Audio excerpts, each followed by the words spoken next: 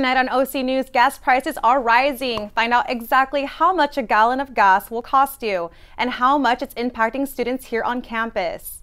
Plus, after a devastating fire destroys much of the famous Notre Dame Cathedral in Paris, talks of reconstruction are already underway.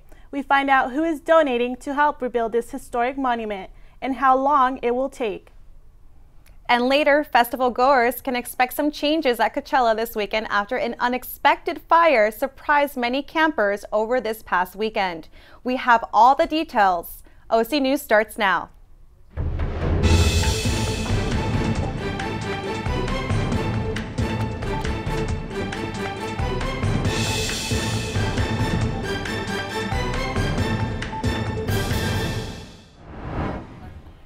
Welcome to OC News. I'm Janelle Pedroza. And I'm Erica Guerra. OC News is brought to you by the broadcast journalism students at Cal State Fullerton. Gas prices in California have skyrocketed over the past few weeks, making them the highest prices in five years. Let's send it out to our reporter Brandy Flores, who is, has more on the story. Brandy? That's right. Gas prices all over California are on the rise. Not only does this affect the residents of California, this also affects students at Cal State Fullerton. With 40,000 students enrolled, over 50% are commuters. Now, I was able to speak with a few Cal State Fullerton students to see how this affects them as students we already spend a lot on like tuition and books and everything it's just an added stressor and especially because it's like a commuter campus and so a lot of people commute and so that's definitely impacts them i'm always like low on my budget yeah. and eh, you know this increased gas price is kind of like critical to me. I'll have to like cut down the food. I actually sold my previous car because of the gas prices. I went from a Infiniti M35 to a Toyota Hybrid, and I spend maybe 80 bucks a month uh, for about a month and a half of driving. Yeah. If I hadn't done that, I would have been filling my tank every month, every week, and it would have been about forty dollars a week. To save gas already in the car, you know, um, I, I only come to campus twice a week already. Like I, I could do like three times a week, but more than that, it's just it's a lot. Right. You know, it's not worth it. There are plenty of people who cannot really even pay their rent in California, and now the gas price as well. Well, we had an opportunity with the last election with a, a measure to get rid of the gas tax to, to eliminate some of that, and it failed. So uh, I think it's a little bit more, you know, having to put some regulation changes, maybe uh, maybe see if we could even the playing ground. But it's always going to be more expensive for gas in California compared to other states. Side of a Mobil gas station right across the street from Cal State Fullerton, and you can see for yourself. Regular gas is nearly at four dollars, and if you have a car that needs that special kind of gas, it's already at four dollars, and it just might start increasing even more. Now, with all everything with the gas crisis, that's all I have. Back to you guys in the studio. Nearly 1,000 schools in the Denver area closed today as authorities search for 18-year-old Sol Pais who traveled to Colorado, bought a firearm, and was reportedly infatuated with the Columbine shooting. Law enforcement officials now say she's been found dead. Here's the latest. A manhunt in Colorado finally over. We are relieved that the threat to our schools and community is no longer present. Authorities announcing 18 year old Sol Pais, a Florida senior who made credible threats to Colorado schools, was found dead. The FBI recently just confirmed that, um, that they have found uh, Ms. Pais um, deceased from an apparent self-inflicted gunshot wound. Officials say Pais was, quote, infatuated with the Columbine massacre and made threats after flying from Miami to Denver Monday night and legally purchasing a pump-action shotgun and ammunition just days before the 20th anniversary of Columbine, prompting Denver Public Schools and almost 20 other school districts to close. When this threat came in, uh, we are used to threats, frankly, at Columbine. This one felt different, it was different, and uh, it certainly had our attention. School officials say normal school operations will resume tomorrow with heightened safety and security procedures. Um, we're not a tourist attraction, and we're not a place for you to come and gain inspiration. I'm Kristen Holmes reporting. An Anaheim man is behind bars after a bizarre crime spree in Lake Forest that included a stabbing a carjacking, and a hit and run. Forest 25 year old James Melendres is accused of the bloody rampage that took place yesterday around 5 p.m. It's alleged he got into a fight near a Salvation Army store on Mercury Road and Rockfield Boulevard. He fled on foot, breaking into a senior housing apartment, but fled when the residents confronted him. Then he broke into another home, grabbed a knife, and chased the woman into the street and began stabbing her. A good Samaritan stopped to help. That's when the suspect chased him. The suspect took his car, he abandoned that car blocks away and tried to carjack another motorist.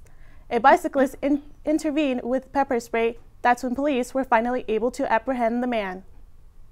Cal State Fullerton's police department announced that a man with a knife was reportedly seen in the Nutwood parking structure on Tuesday around 2 p.m.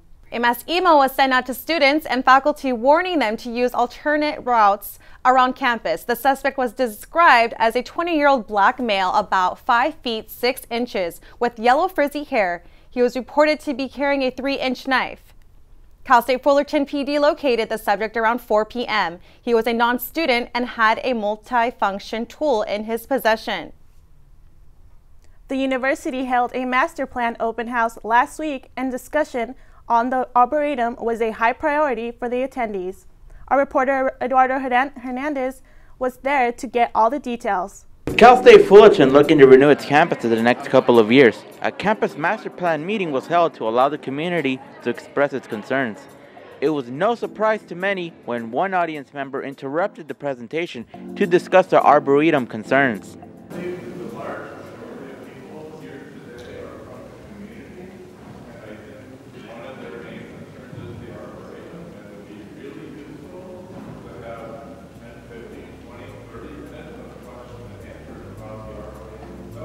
Danny Kim, Vice President of Administration and Finance, came into the scene to allow questions from the public and to address any rumors of the Arboretum being eliminated. Well, the question I get asked very frequently is um, why does the Arboretum need to be included in the master plan? So this is going to be a lengthy answer, but I think that may actually answer a lot of other questions may want to ask. The, the simple answer to that question, why the Arboretum needs to be included in the master plan is because it's on state property. On the petition or also quotes I saw uh, in the paper, the press suggested that there will be a parking lot built on the Arboretum.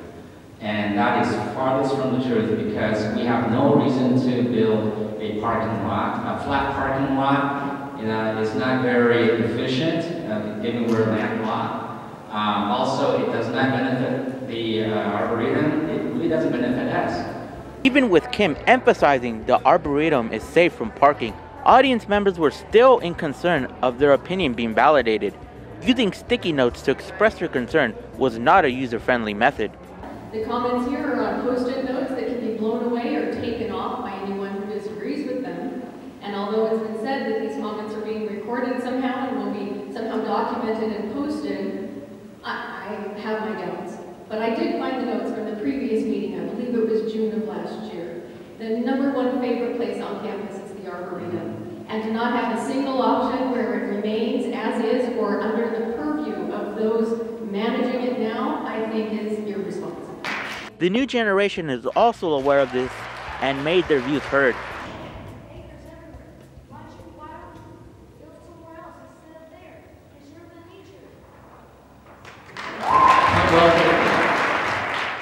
On July 2020, there will be a last review of the plans and a decision will be made, including the fate of the 26 acres of Arboretum. Reporting for OC News, I'm Eduardo Hernandez. Coming up after the break, a new YouTube record has been broken. We tell you which popular boy band broke it and find out what international superstar just released a documentary showcasing her personal life when we discuss your entertainment news.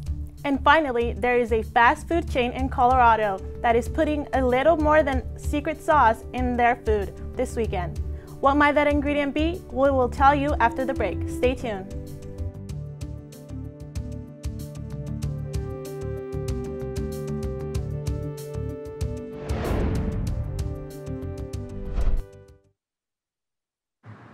How can I help my daughter with her reading? Searching for help with Dachshund Reading. Uh, How can I help my daughter with her reading? Information on hot water heating. Ah, no. Sarah's bright, but when she's reading, she has trouble sounding out the words. World music playing track now. No. Let me try. Our daughter gets confused about which details in a story are important. Which paper towels are most absorbent? What? Here are five product reviews. Why are you not getting me? See, I told you. Wait, I was trying to show you how Sarah feels every day. Frustrating, isn't it? Redirecting to understood.org. For the one in five kids with learning and attention issues, this is what life can feel like. Explore understood.org, a free online resource about learning and attention issues designed to help your child thrive in school and in life. Understood.org, because understanding is everything. Hundreds of years of French history is forever gone after a fire engulfed one of the most popular tourist destinations in the world, the Notre Dame Cathedral. Across France are ringing their bells in honor of the landmark just two days after a fire ripped through the through the Gothic masterpiece. Mary has more on this story. Mary? After Monday's devastating fire at the Notre Dame Cathedral, French President Emmanuel Macron has set an ambitious five year timeline in rebuilding history. Though experts say full restoration will likely take 10 to 15 years, U.S. Ambassador to France Jamie McCourt has hope the rebuilding will succeed.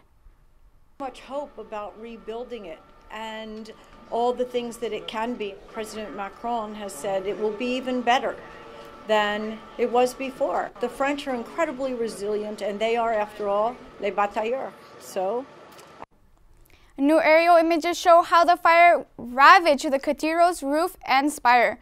On Wednesday, emergency crews continued to pick through the charred remains of the ancient wooden beams. Officials say they are still investigating the cause, but believe it was accidental. They have interviewed dozens of employees working at the church before the fire broke out.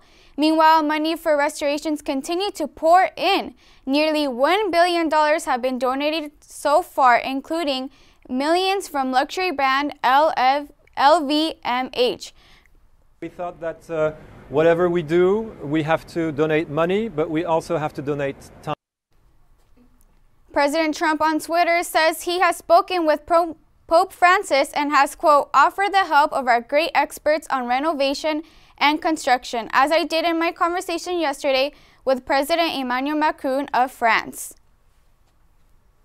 This is just in. Disney has donated $5 million for the restoration. That's all I have. Back to you guys at the desk. As Coachella employees are preparing for the second weekend, workers are still cleaning up the aftermath from last weekend. Not only were the shows lit, but a mobile shower caught on fire at the Empire Polo grounds at the Coachella Music Festival in Indio, California. The fire occurred Saturday morning at 2 6 a.m., it is unknown to what started this startling fire. One trailer was found in bad condition, while another was demolished. The Riverside County Fire Department contained the fire by 2:28 a.m. Say there were no injuries. The fire is still under investigation. Guess who's included in the Times 100 Most Influential People issue this year? The Time magazine just released their 2019 100 Most Influential People issue, which features singer Taylor Swift, actor Dwayne The Rock Johnson, and actress Sandra Oh. They also honored CBS News anchor Gayle King, House Speaker Nancy Pelosi, and Egyptian soccer star Mohamed Salah. Some other high profile names on the list include President Donald Trump, Special Counsel Robert Mueller, and former First Lady Michelle Obama. This is the 18th year Time has released its list of 100 most influential people. BTS now holds the record for the most viewed video on YouTube. In just 24 hours, the 74.6 million views. They beat the K-pop girl group Blackpink's Kill This Love, which had 58.7 million views. Their latest single, Boy With Luv, featuring American singer Halsey, has more than 147 million views so far. According to their management company, the music video also has the fastest video to reach 100 million views. BTS is the first Korean South Korean boy group to present an award at the Grammy Awards and a group to speak at the United Nations. And last weekend, BTS became the first Korean boy band to perform on Saturday Night Live. They had 3 million records of their latest album, Persona, and it is expected to top the charts. Beyonce Beyonce's new documentary Homecoming is now available on Netflix.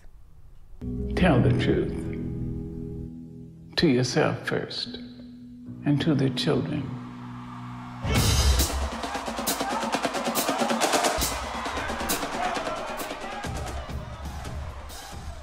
The film Homecoming is about Beyonce and her performance at the 2018 Coachella Valley Music and Arts Festival.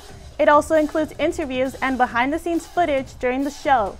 Beyonce paid homage to historically black colleges and university in the US. Beyonce also wrote, produced, and directed the film.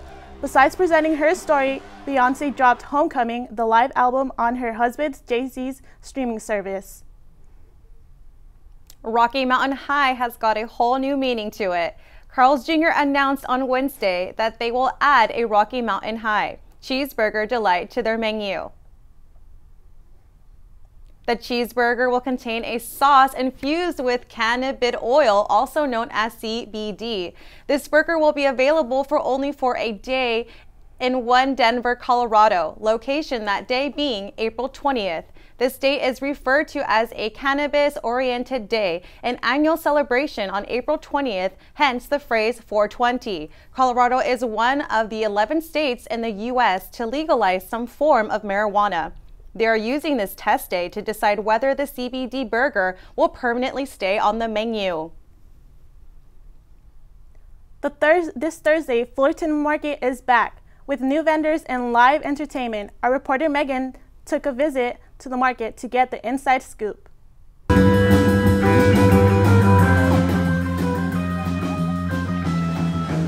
Fullerton is a place filled with great people with a sense of community. This is especially apparent on Thursday nights when Wilshire Boulevard in downtown Fullerton bustles with people visiting the Fullerton Market. The Fullerton Market offers activities for people of all ages. The Kids Corner has a bounce house, face painting, and even a train for young children to enjoy. Across the way, there is a beer and wine garden for the older guests to enjoy. When you walk the tents at the Fullerton Market, you can find anything from jewelry, clothes, food stands, and even fresh produce from local vendors. Located in the heart of downtown Fullerton, many college students come to buy produce, enjoy the live music, and the ambiance that they believe they can't get anywhere else. What I like about the Fullerton Market is that a lot of people come and it's a great community to spend time with. Um, there are different kinds of cultures, there's music, people are dancing, people are eating new types of food. Um, it's a very diverse place to be and it's a nice little getaway from your everyday life. So I always try and come on Thursdays because it's a very fun environment and a little escape to my daily life. I'm from San Diego and there is a farmer's market down there in San Diego and I love the farmer's markets. So when I moved over here for college, I really wanted to find a similar space and finding this market here in Fullerton, in downtown Fullerton was amazing because it makes me feel like I'm still at home, even if it's just Thursday nights. Small business owners from all over Southern California come to sell their goods and meet great people along the way. There's a little bit of everybody that's local here, and they all show up, and kids play on the playground, and so there's there's you can you can feel that you're in a, a, a group that you know cares about the other people in the group. It's just a really awesome community. You can bring your dog, which most markets don't allow. Um, it's just a it's a really comfortable, nice sort of family place for everybody to spend their evening and get something to eat and listen to some music. Downtown Fullerton is busy tonight, and as you can see behind me, people are loving the live entertainment. The Fullerton Market happens here every Thursday night, featuring different vendors, live entertainment, and activities for children and adults to enjoy. For more information regarding the Fullerton Market, you can head to cityoffullerton.com. There you can find any information about the market itself, including the activities, the vendors, the live entertainment, and even how to be a vendor here at the market. Now, if you enjoy the Fullerton Market, you'll also enjoy the Fullerton Farmers Market, which is produce only, happening every Wednesday morning, featuring vendors from all across California. If you have nothing to do this Thursday, bring your friends and your family to enjoy fresh produce, friendly people, and wonderful live entertainment. Reporting from downtown Fullerton, I'm Megan Tate with OC News. Find out which European team is celebrating their Cinderella season when we talk about sports. And there is a sweet Easter celebration making sure that all kids are being treated fairly. This story will surely leave you feeling happy. We will see you this short commercial break.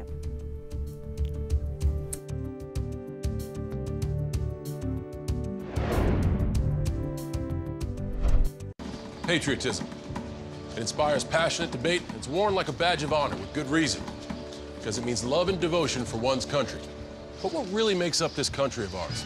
It's the people. To love America is to love all Americans. This year, patriotism shouldn't just be about pride of country.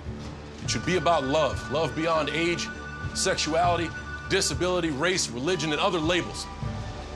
Because love has no labels. How can I help my daughter with her reading? Searching for help with Dachshund Reading. No.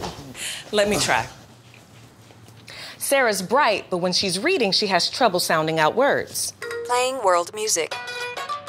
What? I give up. Wait, I was trying to show you how Sarah feels every day. Frustrating, isn't it? Redirecting to understood.org. Join parents and experts at understood.org, a free online resource about learning and attention issues to help your child thrive. Find out which quarterback just signed a new contract. The new NFL season cooking, and is there a new Cinderella in Europe? And I don't mean the princess. With this and more in sports, we go to Eduardo Hernandez. Thanks, and yes, we have a lot going on in sports. So let's not waste any time and cross over the Atlantic to Europe to talk about Champions League action.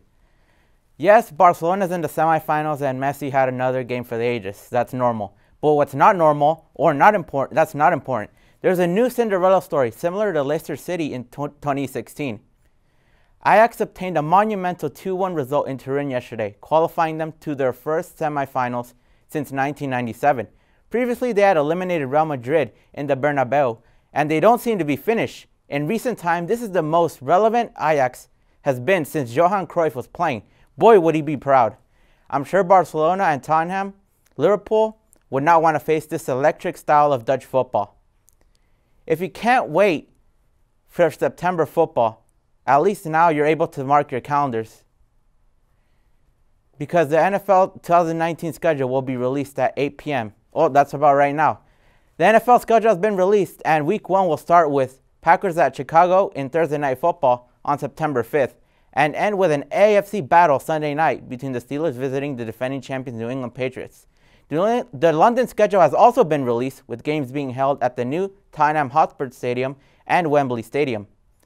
Someone who can't wait for the 2019 season to start is Seahawks quarterback Russell Wilson. Wilson signed a new deal with the Seattle Seahawks of a four-year, $140 million extension that includes a $65 million signing bonus and makes the quarterback the highest-paid player in the NFL. The NFL champion and five-time Pro Bowler looks to bounce from the last season's early exit against the Cowboys and deliver joy to the city of Seattle.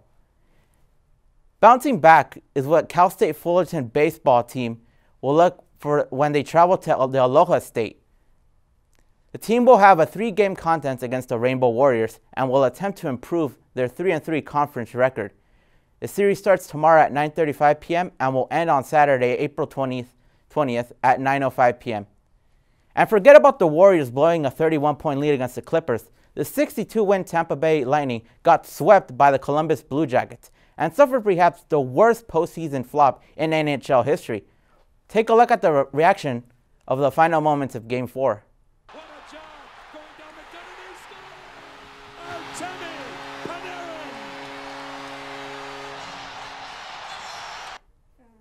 Don't worry, I didn't forget about the NFL playoffs. Tonight, the Pacers visit the Celtics, Boston against the Bucks, and Houston look to gain a two-game advantage. Well, that's all I have for sports. I'll send it back to the desk. The New York Police Department and Fire Department helped out with the second annual beeping egg hunt, an egg hunt for visually impaired children. Take a look. It's an Easter egg hunt with egg sighted kids and beeping eggs, so children who are visually impaired can find them. The eggs are wired for fun by the Federal Bureau of Alcohol, Tobacco, Firearms, and Explosives. This year they got a hand from the NYPD and the FDNY. It's the second annual beeping egg hunt in New York City, started by Holly Bonner, who writes the blog Blind Motherhood. Our goal going forward is to have at least one in every borough. Today it expanded from Staten Island to the Bronx. 150 kids took part at the Lavelle School for the Blind in Williamsbridge. I found the eggs without getting so scared. And she has a big smile like she does now. Yep.